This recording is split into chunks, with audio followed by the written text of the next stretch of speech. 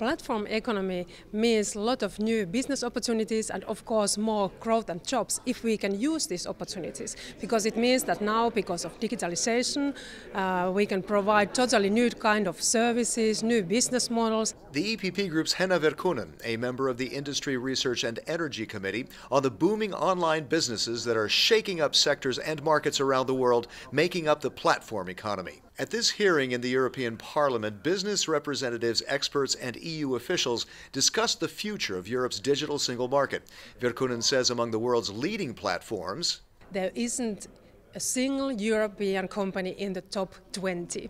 And now we have to really look at how we can create that kind of business environment in Europe. Thus, a plea from one successful European travel company based in the Netherlands. Booking.com is one of the relatively rare examples of a European tech, tech startup that has actually made it to global market leader.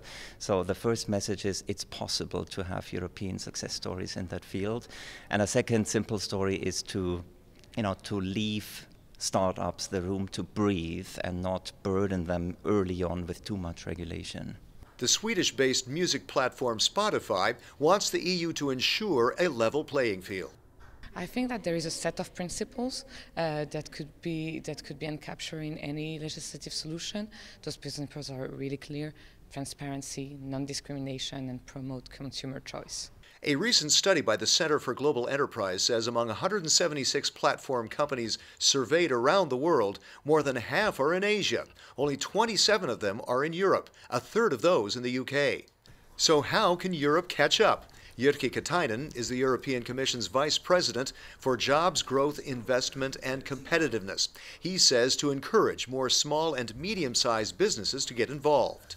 Platforms also offer access to bigger markets.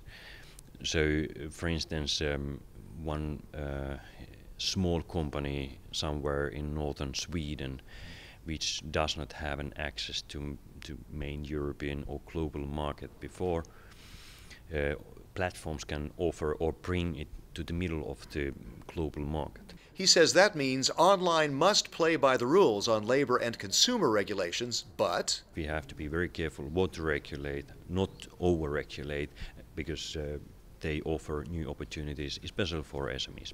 On innovation, Microsoft leads in market capitalization among platforms, though Germany's SAP is also among the top globally, according to the study.